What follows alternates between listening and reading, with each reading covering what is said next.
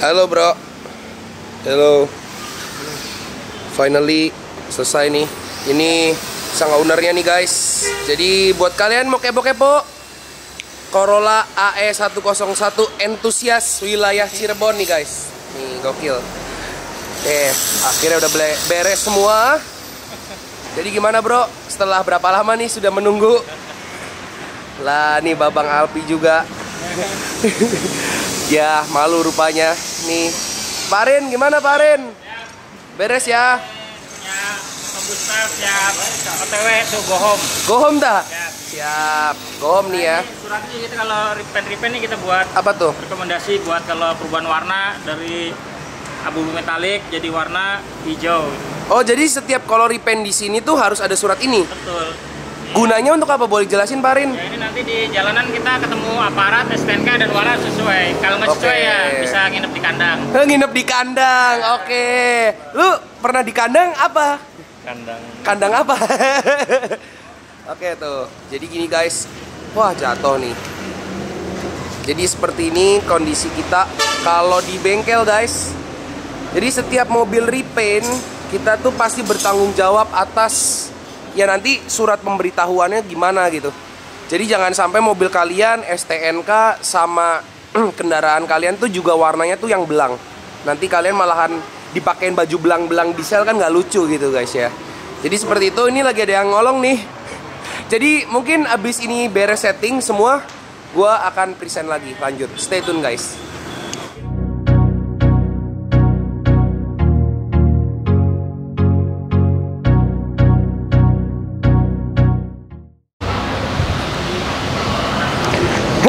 welcome back with me and this Corolla Grid AE101 project by Earth Auto Concept and we are the Earth.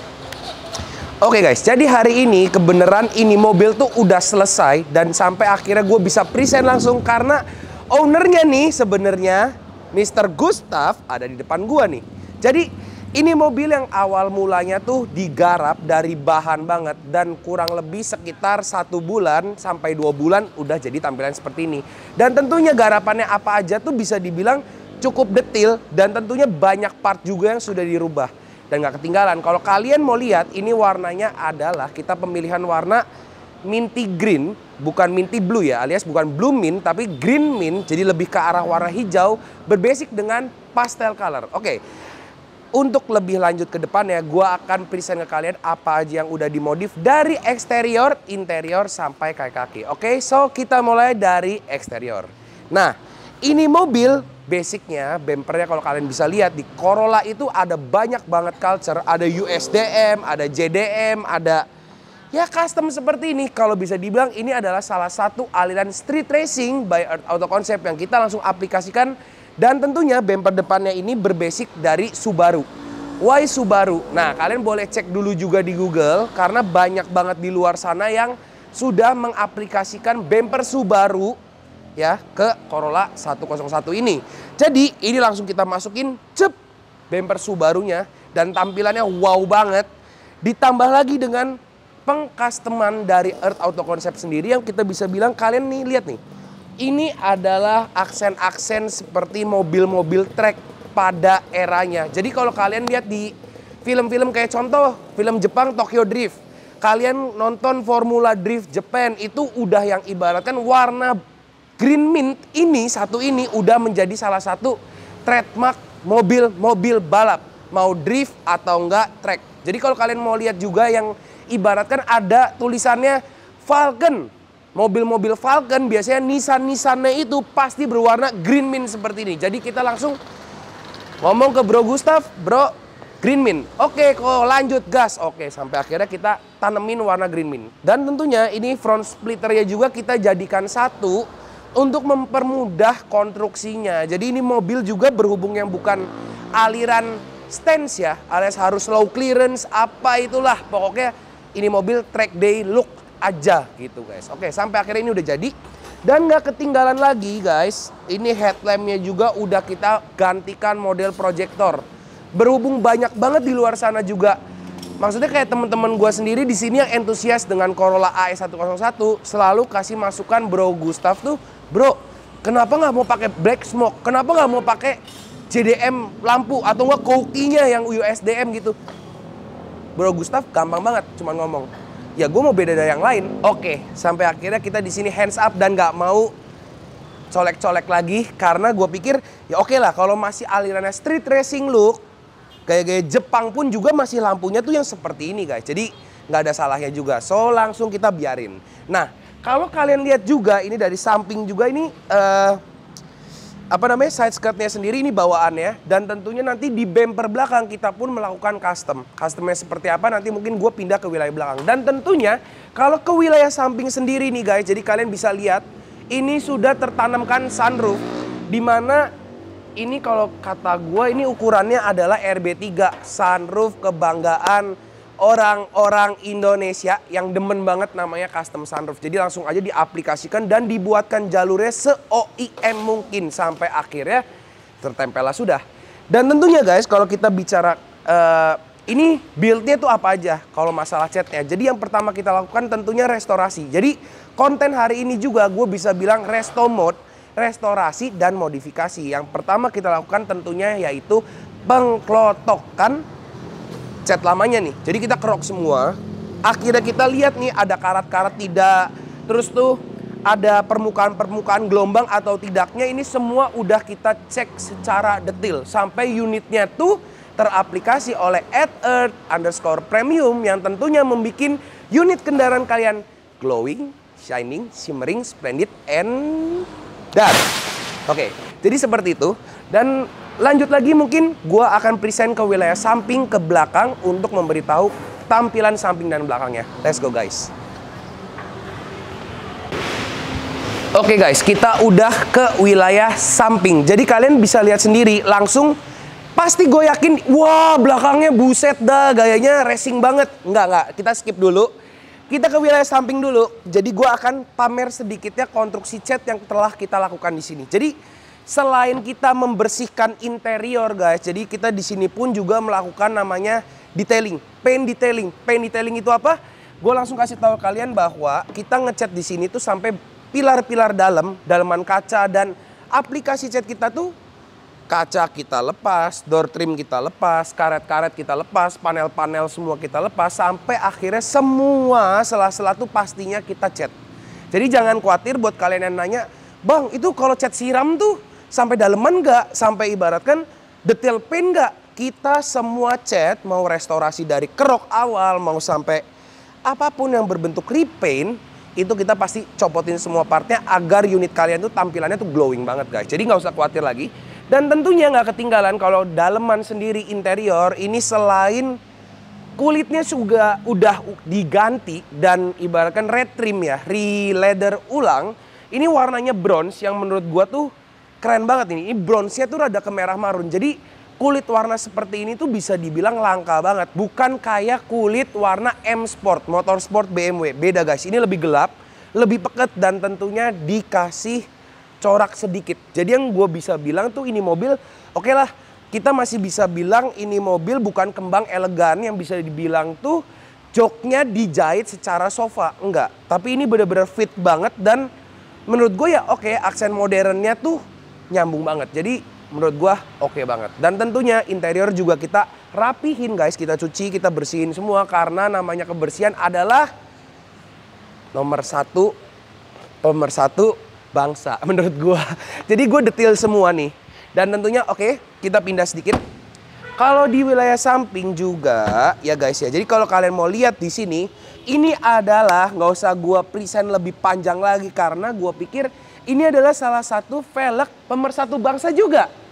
Namanya apa? Fog Race TE37 Ring 15 guys. Kenapa dia menggunakan ring 15? Mungkin nanti ke depannya mau digantikan semi slick yang lebih tebal. Jadi ini masih ukuran 19555. Mungkin nanti ke depannya pakai 205 50 guys. Dan tentunya semi slick tuh nggak akan pernah salah. Jadi kalian nggak perlu khawatir karena ini pelek sementaraan Bro Gustav yang nanti ke depannya tuh akan kita gantikan. Oke, So, kita lanjut ke wilayah belakang, guys. Oke okay guys, jadi ini udah wilayah belakang yang tentunya pasti agak sangat mencolok guys. Lebih tepat ya kalau kalian lihat wilayah belakang, kalian bisa pastikan ini, gue nggak usah jelasin lagi, kalian bisa lihat Ini GT Wing ala Earth punya yang modelnya tuh high alias yang tingginya. Jadi GT Wing yang kita pasarkan juga secara produk massal buat kalian tuh kalau yang mau kepo-kepo atau enggak order bisa langsung cek Instagram kita at earth underscore garage and store karena di sini kita pun juga menjual beberapa aksesoris dan produk-produk massal untuk motor dan mobil kalian. So langsungnya cek dan check out guys. Oke. Ini kalau gue bisa bilang lagi lampu belakang gue pastikan ini masih bisa dibilang standar. Oke, tapi kita bersihin semua. Dan tentunya pengaplikasian bumper belakang yang kita custom juga dari bumper standar membuat konstruksi add-on disatukan dengan bumper lebih standarnya lagi. Dan kita bikinin aksennya tuh yang kayak nggak terlalu banyak coraknya, tapi lebih ke arah garis-garis tegas ke arah vertikal guys. Jadi ini tentunya udah model kayak racing-racing luar sana.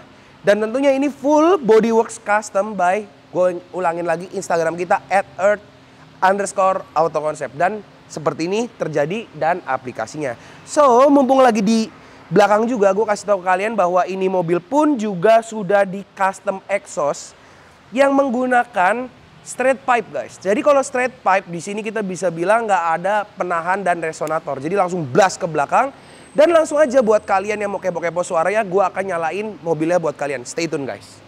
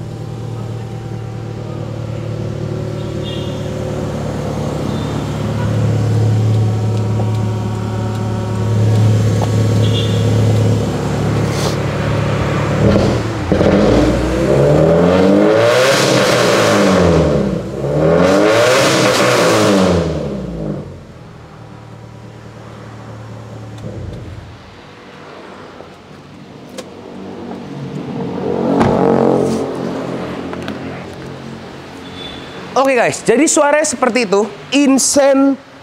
So loud guys, gila berisik parah. Sampai gue sendiri juga ini di bengkel. Agak sedikit kepusingan guys. Tapi oke okay lah, karena unitnya udah jadi dan gue turut seneng banget. Kenapa? Karena ini salah satu build yang gue bisa bilang, wah this is a racing car bro. Jadi kayak udah vibes-nya tuh Tokyo Drift banget gitu guys. Itu in my opinion. Jadi kayak udah Jepun banget. Oke, okay? mungkin gue closing sekalian ke wilayah depan. Gue akan kasih costing. Let's go guys. Oke okay guys, jadi udah balik sama gue di wilayah depan. Jadi ini mobil setelah kita kerjakan kurang lebih sekitar dua bulan guys di sini. Uh, kita cuma kasih tahu kalian bahwa step by stepnya adalah dengan cara merestorasi, pemfittingan body kit, pemfittingan part-part semua itu harus kita lakuin. Dan jangan lupa juga kita kasih anti karat guys. Karena balik lagi guys di sini bukan gua bicara soal cuaca yang ekstrim atau kayak gimana tapi emang standarisasi produk alias mobil kendaraan kalian motor mobil itu pastinya sebelum ada aplikasi chat itu pasti harus di anti karat dulu. Kenapa? Untuk menjaga kalian dari korosi sebuah karat gitu guys. Dan tentunya tampilannya nanti di wilayah mesin dan sela-sela semua akan tampilkan. Gua tampil ini guys, ini ibaratkan di akhir video. So, mungkin gue kasih tahu kalian juga bahwa hari ini ini mobil Corolla Grid punya Om Gustaf sudah beres semua. Dan tentunya guys nggak ketinggalan. Gue hari ini juga pakai kaos dari @earth.industry yang tentunya guys nih. Jadi kalian bisa langsung aja cek di showroom kita di sini. Ada Earth Space juga buat kalian ngopi dan kalau bicara soal baju, jangan sampai tunggu kehabisan dan PO guys. Karena kenapa namanya PO tuh lama banget. So langsung aja kalian boleh cek Instagramnya at earth.industry. Buruan cek dan check out guys. Oke, mungkin hari ini gue ucapin banyak terima kasih dulu buat Bro Gustaf uh, udah mempercayakan unit Corolla Grid AE101-nya ke Earth Auto Concept Cirebon sini. So mudah-mudahan ke depan juga kita bisa menampilkan ke kalian video-video pembuatan mobil dan motor lain di mari guys. Jadi so buat yang kalian suka tentang modifikasi atau nggak culture build, kalian boleh langsung aja subscribe Instagram kita ya. Dan bukan subscribe Instagram ya, subscribe channel YouTube kita Earth Auto Concept dan tentunya 7 Instagram lain yang telah menjadi 8 dan linknya tuh ada di deskripsi guys. Oke, mungkin hari ini tentang Corolla Grid Minty Green Street Racing Bro Gustav segini dulu. Thank you for watching and be the best on it guys. Bye bye.